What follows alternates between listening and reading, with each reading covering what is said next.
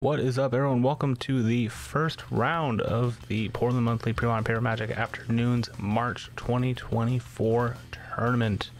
We got a couple of really cool decks to show you, so without further ado, let's get into the deck lists. First up, we have Marshall on Blue-White Tron. Yes, we do have a Tron list today, and it is sweet. We have blue for the counter spells, and of course the card draw to help you find those Tron lands, and white for some of the best removal in the game, as well as some of the best payoffs for having so much mana with 4 Decree of Justice. There's also a couple of Masticores, some Skycloud eggs to not only mana fix, but draw you cards if you need to, and also ramp. Overall, this is just a super cool list, and I'm very excited to see how it plays. Next up, we have Brandon on Mono White Clerics. This is a interesting take. Usually, I think it's black white clerics, right, for a few more payoffs with the combo and just a few more options. But this is still a super sweet list for those of you that don't know. The combo involves Shaman en-Kor, which lets you pay zero to redirect one damage from Shaman en-Kor to a creature you control, and Daru Spiritualist, which whenever a cleric you control becomes the target of a spell or ability, it gets plus zero, plus two until end of turn. You're able to do that infinitely, and then sack it to something like Starlit Sanctum, which is a land that has pay a white, sacrifice a cleric, you gain life equal to that cleric's tough. So in theory, you're able to just go infinite, have infinite life, and as long as you're able to either kill your opponent or have them deck out before you, you win the game. Usually opponents will just concede before they get to that point because better to try and interact with the combo uh, in game too. Beyond that, it is a very creature heavy deck. You have Mother Runes, uh, you're using Armageddons as well to get hopefully a huge board down early and then then wipe all lands so that your creatures can win you the game. There are some shared triumphs to buff all clerics because every creature in here is a cleric. Overall, a really cool creature based list with a little bit of combo. I'm excited to see if we get to see the combo, but just to see how it plays in general. All right, we have Marshall on the left, and Brandon is going to be on the right. Rocking those sweet 30th anniversary sleeves as well. Uh, I really do like that art having all, I'm pretty sure, of the set symbols, or at least all the uh, older ones for sure. I definitely see a lot that are legal in pre-modern. Looks like he is going to be taking a mulligan though.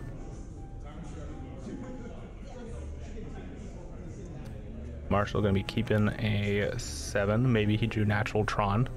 You know, the Tron players always have it, right? Uh, well, actually, I don't even know if he has a, a single Tron land, but he's got some white mana, some blue mana, got at least the swords, got some interaction. and That'll be good enough. Looks like he's got an impulse too, so a little bit of card draw.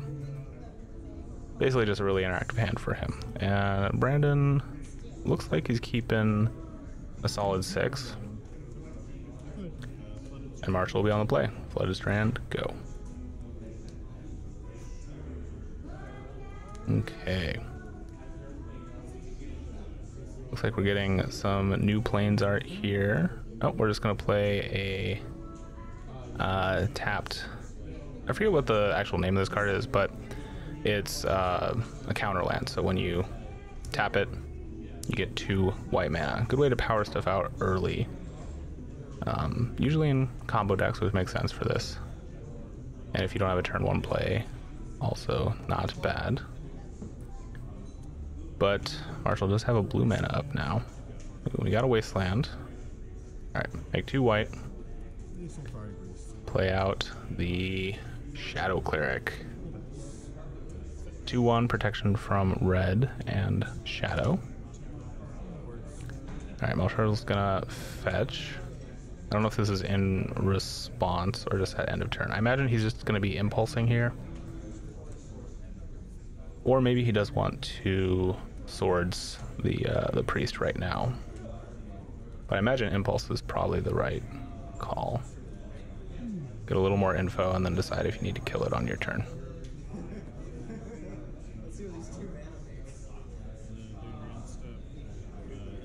Yep, here we go. Just gonna impulse look at a couple of cards. Might have seen one of the Tron lands in there, but again, I think that's more of a late game for this deck. You need to have colored mana up to things. Oh, there is a uh, Masticore as well, which is interesting. looks like a miscalc and the Masticore and a few other cards are going. Yeah, going back to the bottom. Not actually sure what he took. I think he might have taken Stroke of Genius. Alright, go to his turn, draw. There you go, that is definitely a Tron land. But we're going to play out the Adarkar Waste. Add a little bit more blue mana. Ooh, and we're playing out the bomb. now, everyone who watches the channel knows that I'm pretty horrible with card names, but basically this is a board wipe uh, for specific mana values. At the beginning of your upkeep, you can tap it, or you can choose, sorry, to put a counter on it. Uh, and then when you tap and sack it, you destroy everything that has a mana value equal to the number of counters. It's a very slow board wipe, but if you're facing an aggressive deck where there's lots of, say, two drops, which is what Brandon has right now, it's uh, it's not a bad plan. Uh, yep, so it looks like he played out his anthem naming clerics, taking three. And that priest becoming a bigger threat now, but notably Marshall decided to not swords it. I'm assuming he has swords. I thought I saw, yeah, okay, he does. So yeah, just choosing to not not do it. And putting a dice on top of the cards just to remind himself to uh, put a counter on that Goblin Bomb or whatever it's called. Hey, and we got our first Tron land out. With a Wasteland out, though, is a little scary. Uh, not gonna lie. But that tower is there and is a potential target. Alright, are we just gonna be swinging in for another three here?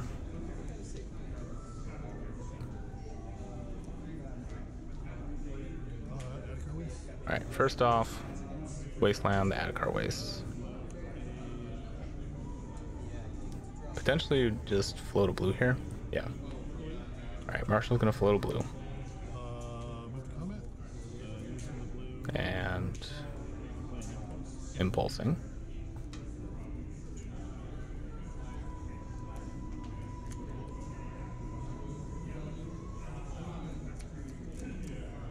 So see what is I think he's just taking a land here.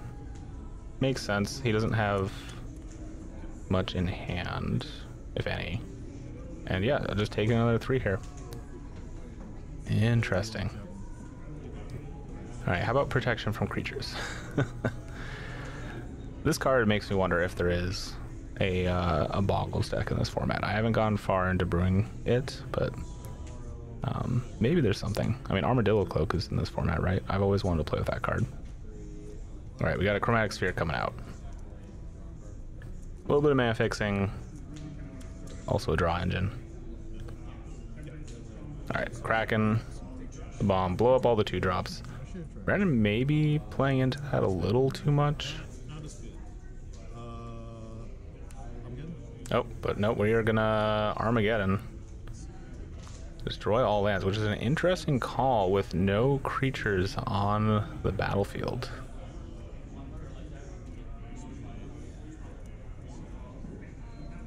Marshall, I think, just going to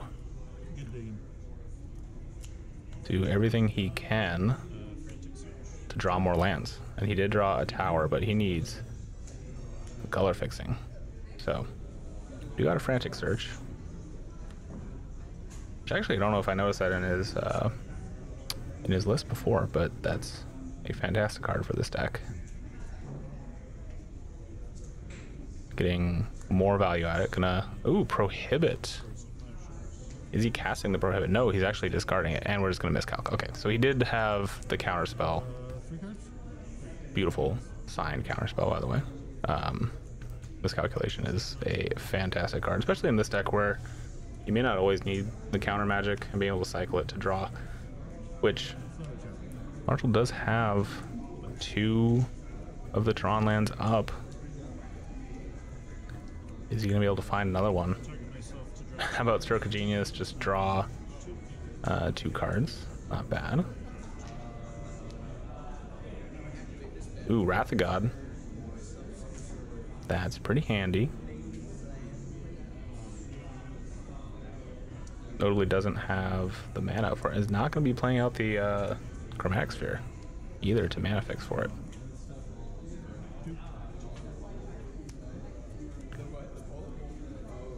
Alright, Brandon playing out some lands, getting in with a little bit of damage. And we're just going to stroke a genius again for another two. Who was that? Yep.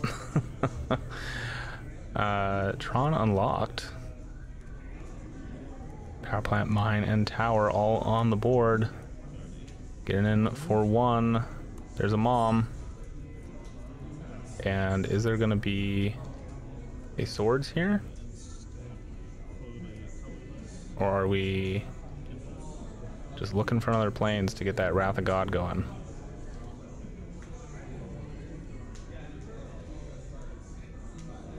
He does have a payoff card. He does have his uh, Decree of Justice in hand.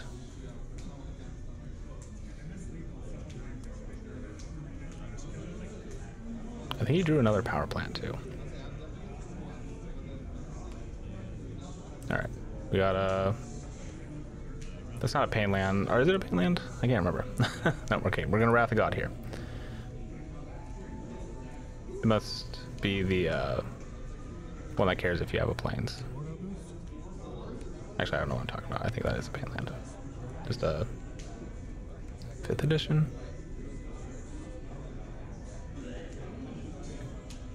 All right, all the man in the world. What are we doing? Do you have a decree out?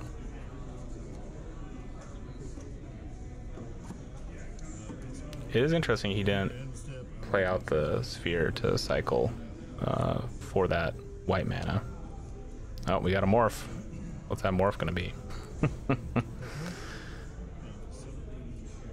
and getting to swing in with it too. Oh wait, no, it's the soldier. Sorry, not a morph. It's the uh, the soldier from the the land. All right, your end step Let's get a massive decree going. X equal to a lot. Uh, yeah, how about 10? X equal to 10. So Suddenly 10 1 1s on the board versus just a regular 1 1 because, uh, yeah, that Anthem effect is not pumping it up. Swing in for 10, block 1. Still 9 guys.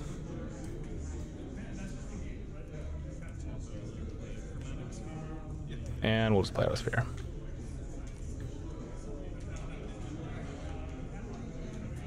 And what does Brandon have going on in hand? Can't see too much. It looks like he's got a couple of the combo pieces, but those not doing much. see, that is um, the cleric where you can tap different cleric to prevent two damage, I believe. It does get buffed, so that is noticeably a good thing. How about we just prohibit it though? Clearing the board a little bit. And I think Marshall in a very commanding spot here. Uh, not too much that Brandon is going to be able to do. Alright, Cyclosphere. Ooh, is that another Decree of Justice? I think, yeah, you just go for it here. Make X equal to a lot, and we're just going to scoop it up. That is going to be game number one. Wow, that was a great showing for the Tron deck. Who knew? Especially in a deck with Armageddons and Wastelands that Tron could do so much damage. Brand, I think, going to be keeping a little more land hate. I don't know if he would have brought in anything extra, but the combo here is seeming pretty important as his opponent will potentially deck himself if he can get that infinite life combo going. I don't think that's the main goal of this mono white clerics list. But it's definitely an out. It might be the best out if he can't get a quick start. And unfortunately, it looks like he's going to be going to six again. And Marshall keeping a solid seven.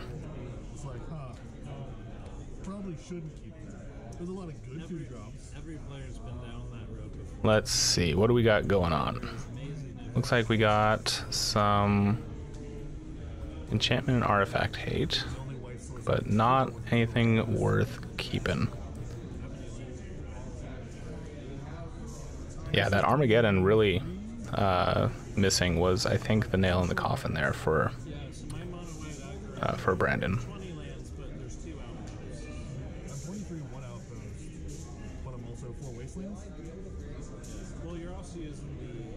And yeah, I'm not sure exactly the best access to attack this Tron deck because it does have so much removal and so much counter magic that, yeah, I think the combo is the way to go here.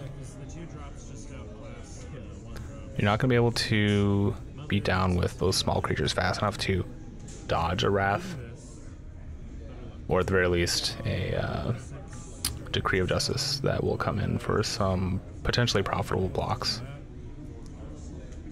But going to five is going to be a bit rough. Alright, looks like we're starting off with the tap land. And immediately into some ramp for, uh, or not ramp. Those eggs, I forget, don't actually ramp. They, uh, just give you a little bit of color fixing. Which it looks like Marshall has a few of the Tron lands in hand. Maybe just a couple of towers, so that color fixing might prove to be important. Also getting the card draw off of it is not bad at all either. Alright, so Brandon having a very similar start to game one. Shadow creature out, swinging in. Notably no Anthem effect this time. But he does have some creatures and an Enlightened Tutor. I wonder if he's running seals of cleansing in the sideboard and this is just a way to help tutor for it, or if this is just a way to help find his anthem faster to close the game quicker. Alright, we're gonna crack that, get some mana fixing, and not use it.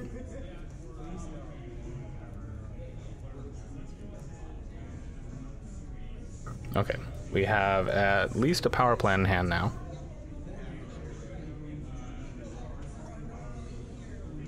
And a... Oh, no, he's got the full thing. He's got a mine, he's got a power plant, and he's got a tower out on the battlefield. But seeing that Armageddon was definitely a little spooky.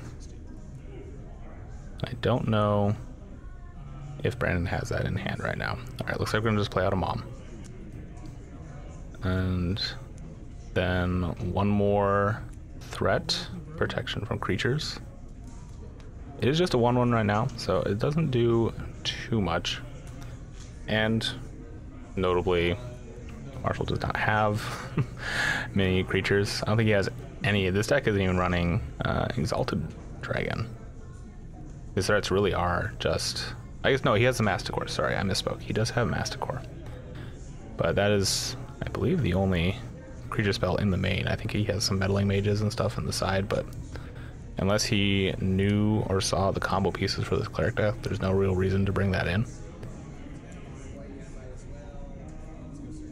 Alright, we are going to swords the shadow creature though. Play out another egg and pass. Playing out the power plant too. Oh, and there's a wasteland. Just in case you thought you were getting Tron next turn. Oh, you are going to be able to get a next turn because we are tapping out here, but uh, maybe the turn after that you won't have it. And oh, Marshall does have a Decree of Justice in the hand too, so this is very tempting. Very interesting though that he's not trying to get any of the big 4-4 angels. Alright, taking two here. Even if you wanted a decree for blockers, doesn't make much sense. Uh, they can't block those guys anyways. But we are going to get a decree here. And is this a decree for eight? Just for six, okay.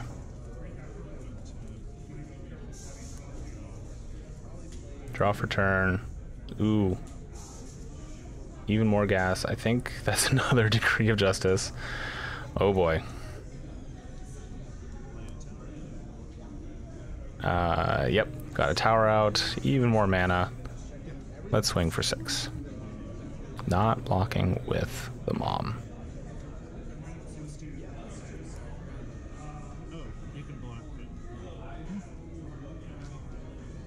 little bit of discussion here going if uh, oh Marshall just being a good sport, letting him know that you could block and uh, profitably block. Granted, it is always risky with uh, a deck running removal.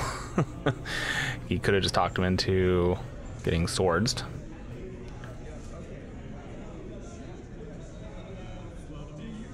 Let's see what's going on here. Oh, we are going to counter that. All right, one floating with a misdirection. Or miscalculation, sorry. And then let's decree again. Get another seven guys. And just a flood of soldiers on the board right now. Notably, ooh, here we go. Okay, we got a combo piece out. Marshall having to give that one a read. I don't know if he's played against the cleric combo or even thinks that it could be in this deck. Um, again, it's usually a black-white deck, at least from what I've seen. He has not seen the land or any other combo piece for it, but he does have a swords. Ooh, he also has a stroke of genius. He can draw so many cards this turn. Alright. We're gonna block everything. In response, yep, swords the mom. Alright. A little bit risky. You leave the combo piece on there. He does need to have the land and play out the correct um, combo creature.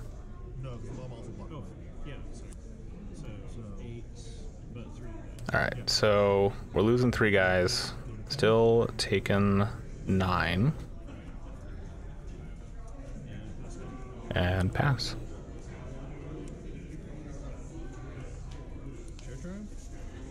Alright, a little bit of an anthem effect. That is not nothing. Marshall is at 10, but I think we're just going to pass here, which makes sense. Stroke Genius for, I don't even know, a lot. 10? 11?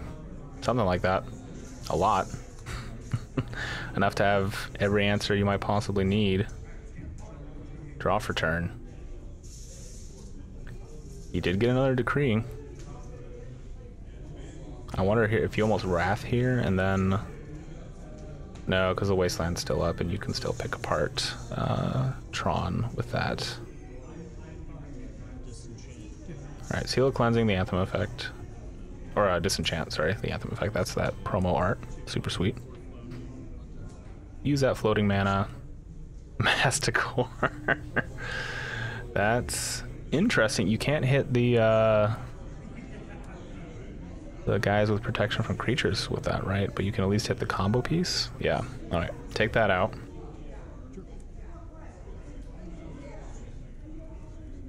Still a little bit of mana up if he wants it, but no, we're just going to be swinging in for nine.